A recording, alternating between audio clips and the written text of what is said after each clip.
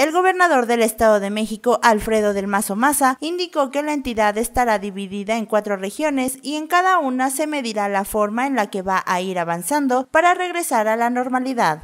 Por su movilidad, por su actividad económica, por su población, por su infraestructura, hemos dividido al Estado en cuatro regiones. El Valle de México, el Valle de Toluca, el norte y el sur del Estado.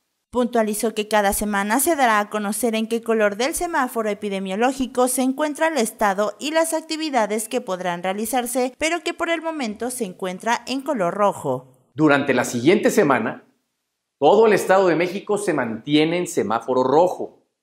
Esto significa seguir haciendo el mayor esfuerzo posible por quedarse en casa y seguir manteniendo las medidas de higiene y de sana distancia. El gobernador recordó que el color rojo del semáforo se refiere a riesgo máximo con solo actividades esenciales, naranja riesgo alto, pero con regreso de algunas actividades con un porcentaje mínimo de aforo, amarillo riesgo medio con el regreso de más actividades con menores restricciones y verde que significa riesgo bajo con regreso de todas las actividades. Reportó para Canal 6 Cecilia González.